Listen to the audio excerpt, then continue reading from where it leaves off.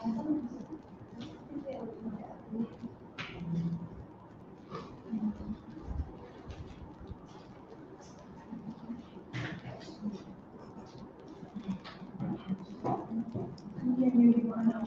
Assalamualaikum warahmatullahi wabarakatuh kepada tuan-tuan dan puan-puan.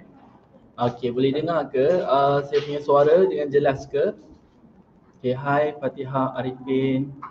Hai Ina Omar.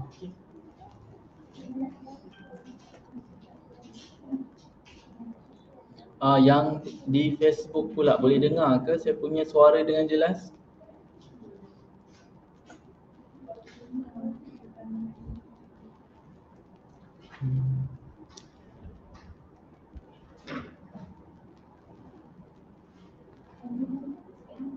Okey, kalau boleh dengar boleh komen dekat ruangan komen jelas. Okey.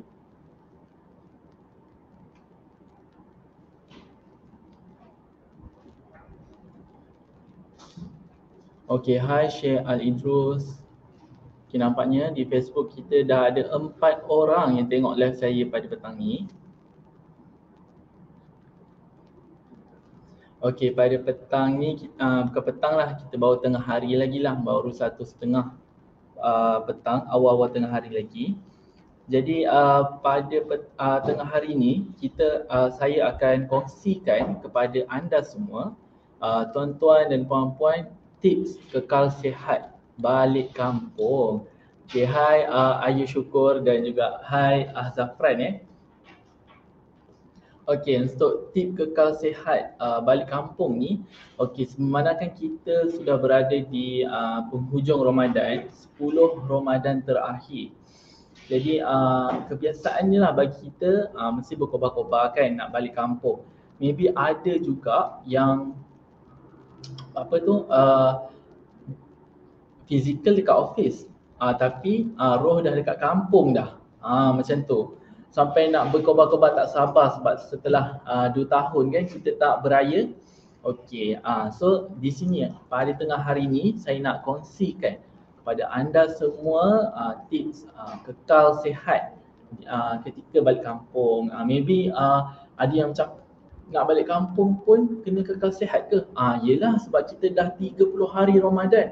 30 hari Ramadan kita dah kekal sihat jadi orang sihat uh, takkan kita nak sia-siakan kan? Kita punya kekal sihat uh, apa uh, amalan sihat kita uh, balik kampung dia dah berterabur segala diet kan?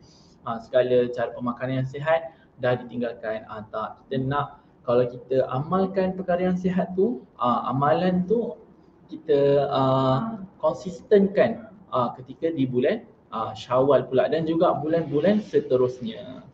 Okey, hai uh, Puan Sally Saleha, selamat petang. Uh, selamat petang. Okey, tengok tu. Uh, jalan jam, sesak. Uh, lah, balik kampung. Uh, uh, apa ni?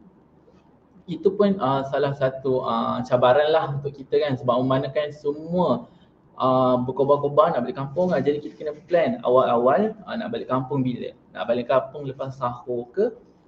Ataupun nak balik kampung lepas berbuka ataupun lepas tarawih ataupun tengah-tengah malam orang tahajud kan kita balik kampung uh, pun boleh juga. Uh, sebab memandangkan time tu tak ada uh, tak banyak kereta. Okey. Uh, puan Rosmah Mas Tok uh, kata dua tahun kena kurung. Memang berkobar-kobar balik kampung ni. Uh, puan Rosmah balik kampung mana puan Rosmah? Uh, okey. Uh, puan Sally pula makan ikut portion insyaallah badan Ya betul, uh, badan uh, tetap sihat kurus ikut portion. Jangan uh, apa first shower dia kita dah melantar macam-macam berpinggan-pinggan rendang eh. Okey. Jadi uh, okey hai Amira Ahmad, hai juga Nadia Hamdan ya. Okey. Jadi uh, kita teruskanlah dengan tips uh, sihat uh, saya yang pertama adalah uh, jadi sebelum tu saya nak uh, inform kepada mereka yang join live uh, saya di Facebook dan juga di Instagram. Anda boleh share kan live ini uh, kepada rakan-rakan jugalah. Satu setengah petang ni uh, sambil-sambil rehat uh, buat kerja tak ada buat kerja sangat kan. Uh, mana-mana suri rumah ke uh, boleh share live ini kepada uh, kita live di dua platform iaitu di IG Jom Sehat dan juga Facebook Jom Sehat. Okey. Okey. Jadi uh, yang tips yang pertama adalah tidur yang cukup sebelum memulakan perjalanan. Ha, maksudnya apa? Maksudnya bila kita tidur yang cukup sebelum memulakan perjalanan itu menandakan yang kita sudah cukup rehat. Okey. Oleh itu untuk kita tidur secukupnya kita kena rancanglah perjalanan kita dengan sebaiknya. Ha, rancang uh, perjalanan dengan sebaiknya sebab contohlah kalau kita uh, decide uh, kita nak uh, balik kampung uh, lepas uh, berbuka kan? Uh, rancang. Lepas berbuka tu kita nak waktu bila? Nak makan apa? Nak bawa apa? Semua uh, packing tu kena betul lah. Okay, dan juga mereka yang ingin merancang lepas uh, bersahur ke uh, ataupun kena ada perancangan yang rapi. Okey, uh, dan uh, kalau kita tidur yang cukup macam saya cakap ni, itu bermakna kita ni dah rehat secukupnya. Dan tidur ni kalau nak tahu tuan-tuan dan puan-puan adalah uh, merupakan salah satu fungsi yang di mana membolehkan badan dan minda kita cas semula. Uh, cas semula maksudnya ya, badan kita, minda kita akan lebih segar lah. Seterusnya menjadikan kita uh, semakin uh, cakna dengan keadaan sekeliling. Maksudnya apa? Bila uh, contohnya kan uh, kita balik kampung, kita lebih uh, aware lah uh, macam contohnya uh, nak bagi signal, uh, line kanan ke kiri kita nak pergi, uh, bawa laju, berhati-hati dengan kenderaan lain, jangan terlalu rapat uh, macam tu.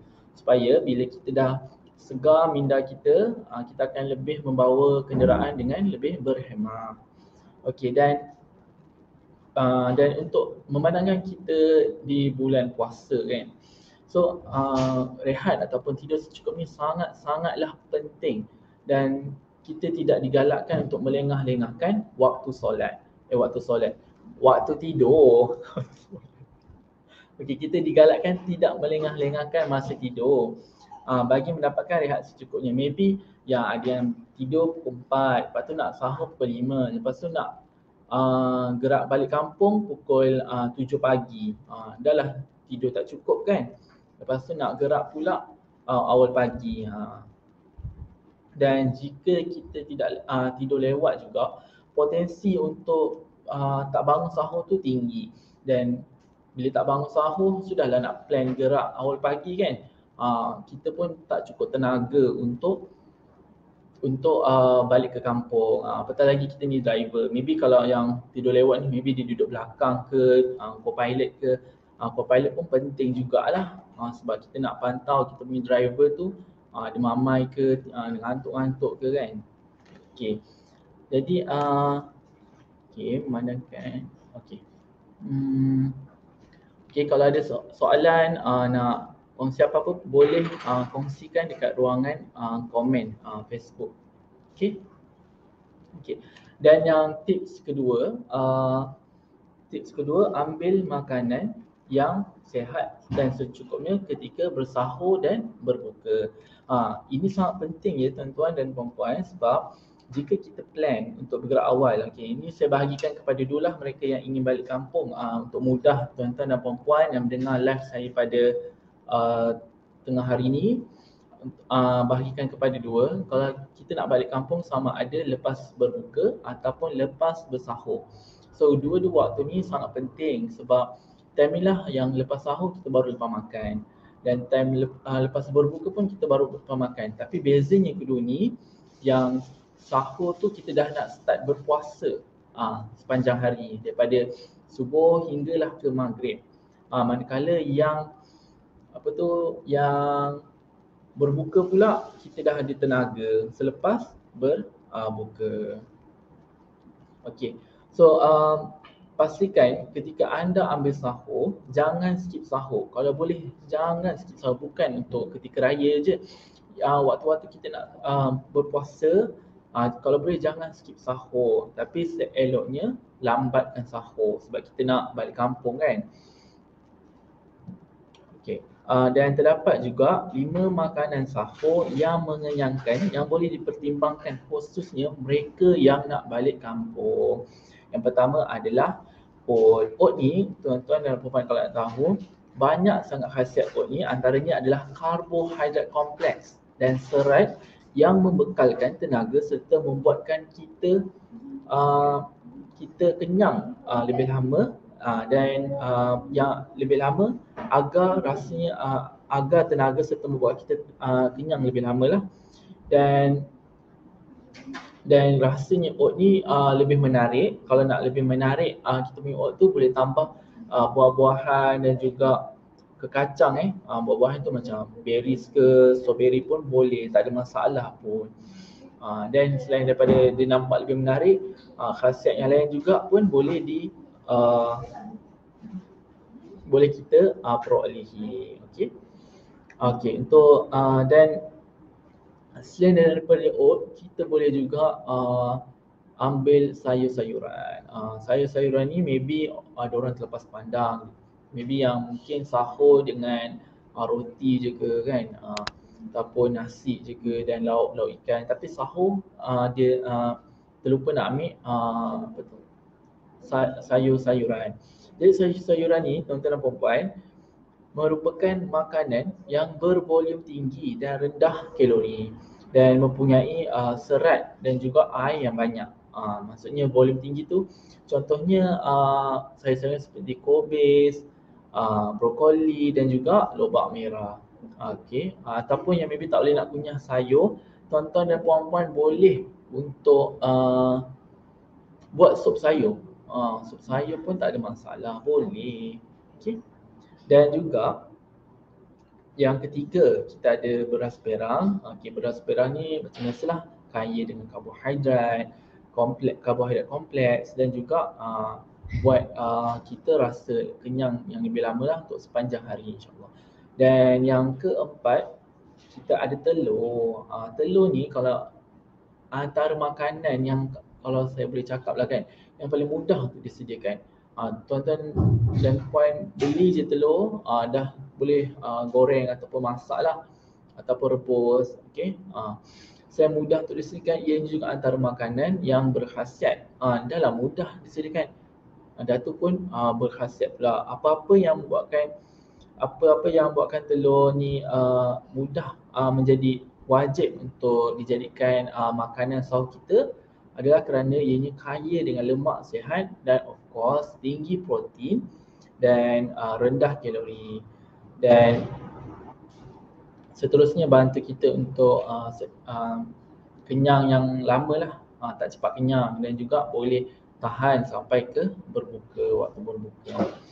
Okey dan yang ketiga yang yang ketiga pula. Yang keempat eh yang kelima. Kelima kita ada makanan ikan. Hmm. mereka yang ni khusus lah untuk mereka sebenarnya untuk mereka yang nak gerak awal pagi lepas sahur pun boleh yang lepas berbuka pun tak ada masalah Hmm. Jadi uh, yang ikan ni pula uh, macam biasalah kita sangat popular dengan ikan yang sangat tinggi khasiat protein bagi membekalkan tenaga uh, tenaga uh, ketika kita sedang berpuasa. Okay, dan lebih-lebih lagi kalau ikan salmon dan tuna yang tinggi lemak omega 3. Okay. Dan turut membantu turunkan uh, paras kolesterol dalam badan. Uh sangat berhasiat lah juga uh, untuk ikan ni kan. Okay dan yang terakhir kita ada yang second last lah. Kita ada buah apple. Uh, buah apple. Buah apple ni uh, tuan-tuan uh, selain daripada kaya vitamin C ini juga kaya dengan apa tu dengan ikan kalium. Ah uh, uh, saudari uh, Cik Asma Nadiah tanya, ikan jenis apa tu Syadik? Okey, kalau ikan ni uh, cik ataupun semua uh, boleh makan ikan tuna ataupun ikan salmon. Uh, itu yang paling tinggi lah kandungan uh, omega 3 dan bantu kita uh, untuk kekal bertenaga uh, sepanjang harilah bulan Ramadan insyaAllah.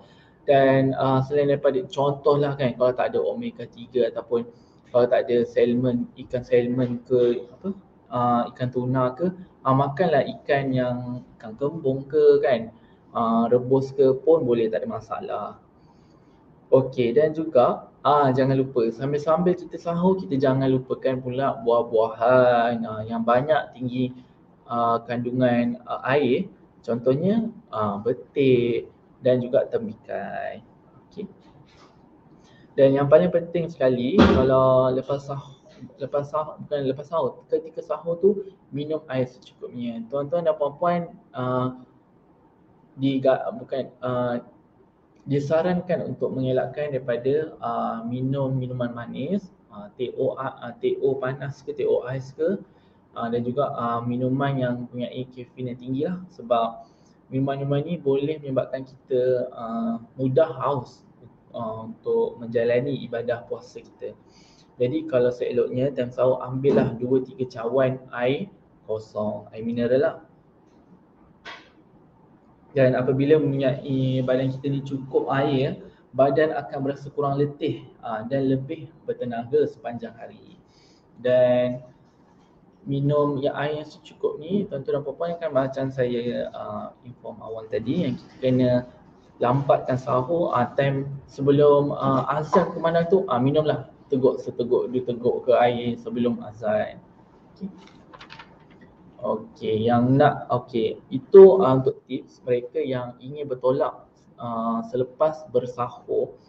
Jadi untuk mereka yang ingin bertolak lepas berbuka, uh, ini antara tips yang lain jugalah. Okey, hi uh, The Hijrah Empire dan juga uh, Puan Haniza join. Terima kasih join. Boleh sharekan dekat kawan-kawan yang lain ya. Okey, uh, kita teruskan dengan kita punya tips balik kampung. Dan yang pertama kurangkan uh, caffeine. Uh, kurangkan caffeine. Sebab uh, kenapa? Sebab biasanya lah orang yang balik lepas berbuka ni mereka akan balik lepas syak kan. Uh, biasanya lah tak lepas syak pun lepas terawih tengah-tengah malam sebab katanya malam ni tak ada orang. Uh, kenderaan tak ada orang. Hmm. Tapi uh, tah, raya tahun ni uh, kali ni kita tak tahulah ramai ke tak sebab apa tol percuma, tol percuma kan start 12.30 malam kan. Uh, mana yang tahu uh, ramai pula yang nak keluar ke tengah malam, uh, balik kampung tengah malam kita tak tahulah kan. Hmm. Lain daripada lain lah raya kali ni. Uh, so kenapa kita kena kurangkan kafein? Sebab kafein ni terlalu banyak pengambilannya. Uh, lain lagi yang gula uh, kafein ni sebenarnya tak elok eh. Uh, kalau boleh kurangkanlah banyakkan minum air kosong. Maybe tak salah nak ambil kafein tu. Uh, tak salah pun. Tapi kurangkan uh, gula. Kalau boleh kalau nak ambil uh, kopi pun uh, yang ada kafein ni americano ke uh, ambil kopi yang betul-betul pure kopi tu. Uh, bukan uh, air kopi yang dah ditambah gula lah susu lah kan uh, dan yang kedua, ah ini paling penting lah saya rasa sebab biasanya dan saya pun kadang-kadang pun terbuat juga kan. Ah, sediakan makanan snacking yang sihat sepanjang perjalanan. Hmm. Kita ni kalau ah, sepanjang perjalanan kita selalu sangat ah, pergi kedai-kedai beli keropok, beli keropok yang proses-proses ah, food tu kan. Tak pun beli ah, makanan yang ah, apa tu makanan yang tinggi kandungan gula, manis-manisan kan. Ha, so kalau boleh tuan-tuan dan puan-puan, ha, kalau boleh time snacking tu untuk kita makan-makan ha, sambil sebelum balik balik ke kampung tu kan dalam perjalanan balik kampung tu ha, bolehlah ha, kita ha, sediakan ha, contohnya kacang-kacang yang lebih berhasiat, makanan yang lebih berhasiat contohnya apa? Contohnya adalah uh, badam, gajus, uh, lebih kurang 10 biji. Okey, kalau boleh catat-catat eh. Uh, kacang tanah, uh, kacang tanah boleh satu hingga empat cawan saja tanpa kulit eh. Uh, jangan makan. Okey, uh, dan juga pau ayam, uh, tak ada masalah nak makan pau. Pau ayam boleh, pau kacang merah boleh, uh, pau hmm, pau kacang merah boleh, uh, pau apa lagi? Popia boleh. Uh, popia pun boleh uh, dan juga lepat pisang satu biji. Uh, dan kita boleh juga makan kuaci, kismis kan. Orang suka munyah, uh, saya pun suka. Uh, saya pun suka munyah, saya akan makan biji apple boleh. Hidup potong-potong lah. Kalau yang makan biji apple tu, kalau boleh cuci dulu tapi jangan buang kulit dia. Sebab kulit dia ada pektin. Pektin ni bagus untuk kita punya digestion lah. Okey dan yang terakhir juga kita ada mangga, uh, orange mandarin ke pisang pun tak ada masalah kalau nak makan. Uh, instead kita beli uh, jajan eh, jajan yang orang, orang Johor kata jajan. Uh, jajan ke kan, uh, keropok krepek, uh, apa keropok leko ke uh, tak salah tapi kurangkanlah janganlah apa kita makan selalu makanan-makanan proses food ni sebab tak elok, sebab tinggi garam, tinggi gula, tak elok lah untuk kesihatan badan kita. Bayangkan kita dah apa kita dah berpuasa uh, selama 29 hari kan. Uh, tiba kita rosakkan kita punya corak pemakanan yang sihat tu dengan makanan-makanan ringan macam ni. Okay. Uh, kalau nak makan juga kurangkan uh, portion pengambilan tu. Uh, maybe kalau nak makan keropok manis-manis tu kan yang bergaram tu uh, makan uh, boleh makan apa tu uh, kurangkan pengambilan ambil satu dua chips ke uh. Okay, lepas tu kita ada Ah, yang paling yang ketiga ni antara penting juga minum air secukupnya dan juga kurangkan minuman bergas dan juga bergula ketika berpuasa, uh, ketika berbuka. Okey. Dan makan makanan yang mengenyangkan. Ha, selalu ni kan kalau makan makanan kalau kat tepi jalan kat R&R makan uh, apa lagi makan nasi bertimbun-timbun sebab lapar sangat kan uh, itu kena kawal lah uh, tuan-tuan dan puan kita kena kawal benda tu supaya tidak kita tidak menyesal kemudian hari. Sebab kita balik kampung nanti makanan dah sangat banyak dah. Uh, mak kita akan masak saudara mari kita akan masak yang kita pun akan masak makanan raya. Uh, kalau boleh kawal dulu. Nanti time puasa maybe kalau terlebih-terlebih tu ah tu tak apalah hari pertama kan? Ah hari, hari kedua macam mana? Ketiga kena kawal. Ah, okey. Dan kalau boleh jangan makan terlampau banyak. Ah ni yang selalu orang buat sebab mereka rasa kalau nak balik kampung ni ah, kalau tak kan terjumpa makanan tepi jalan kan. Ah, macam mana kan. So dia orang pun melantak makan makanan banyak. Ah, sejurus lepas buka sebab okey ah, yang pertama masalah yang pertama bila kita ni makan dengan laju sekali banyak eh ia akan naikkan kadar gula dalam badan kita dan level insulin kita. So boleh menyebabkan simptom-simptom uh, pening-pening kepala, uh, mual, uh, gelisah ataupun jitters lah. Jitters tu nervous yang terlampau ekstrim. Uh, extreme nervous. Hmm. Dan bila kita makan terlampau banyak ketika berpuasa juga uh, selepas berbuka ia akan menyebabkan kembung perut dan ketidakselesaan. Ah, uh, Puan Rosmah Masto tanya, Syadik orang Johor eh. Ah, tu yang pakai baju telur. Ya betul puan, saya asal Johor Keluang. Ah, orang Keluang. Apa par, uh, uh, kampung Parit ja, uh, Parit Jawa ah. Tapi bukan orang Jawa lah duduk di situ. Hmm. Ah, sebab hari ni saya pakai uh, baju raya ni bukan baju raya, baju ah baju raya lah. Uh, sebab kita bincang cakap tentang kekal sihat balik kampung kan semangat balik kampung. Uh, saya insya-Allah balik kampung esok. Uh, so saya dah semangat hari ni juga saya pakai. Uh, so uh, oleh itu uh, Puan Rosma balik mana Puan Rosma? Oleh itu uh, kita bila kita berbuka kan uh, dengan uh, sangat banyak sehingga penyebabkan ketidakselesaan dan juga kembung perut ah nanti boleh ha time-time tengah nak on the way ke kampung tu rasa nak buang air besar pula. Ah dah satu hal. Dah lah jam lepas kita nak buang air besar dah memakan masa yang sangat banyak kat situ. Okay, hi my cute cute uh, dan juga hi Kyle Cookbook. Okay, terima kasih join live kita pada petang ni. Ah, kampung Parit Jawa Mua. Ah, Puan Rosma orang Mua punya uh, dekat lah tu. Saya pun ada sedara mara duduk muar juga. Uh. Okay, uh, oleh itu kita kena elakkan masalah ini uh, dengan untuk elakkan masalah kemurut dan ketidakselesaan ni uh, tuan-tuan dan puan-puan boleh uh, kunyah makan uh, makanan dengan perlahan ketika berbuka uh, jangan gopo-gopo, jangan laju-laju kalau minum dan minum air setelah selesai makan uh, bukan kita makan minum makan minum makan minum makan minum. Ha, nanti menyebabkan kembung perut. Okey. Dan yang ketiga adalah kurangkan makanan yang tinggi uh, lemak dan juga gula. Kalau RNR kan uh, bagi saya lah kalau RNR tu makanan yang uh, sesuai untuk tuan-tuan dan puan-puan uh, makan adalah uh, tuan-tuan dan puan-puan makan adalah makanan uh, uh, bihun sup kan. Bihun sup uh, nasi lemak pun boleh uh, nasi lemak, uh, nasi ayam, okey. Makanan yang uh, portion yang agak bagus, okey. Bagi saya lah. Hmm, jangan makan uh, apa tu aiskrim banyak-banyak ABC kan, cendol ke, uh, sekali-sekala tak apa. Okey. Hmm. Okey, uh, Kak Eji. Uh, Okey. Okey, itu saja uh, untuk uh, live saya hari ini. Uh, harapnya live uh, yang saya kongsikan ni bermanfaat lah kepada semua. Maybe yang join separuh uh, separuh masa ke uh, maybe ada beberapa lah yang boleh dikongsikan kepada rakan-rakan.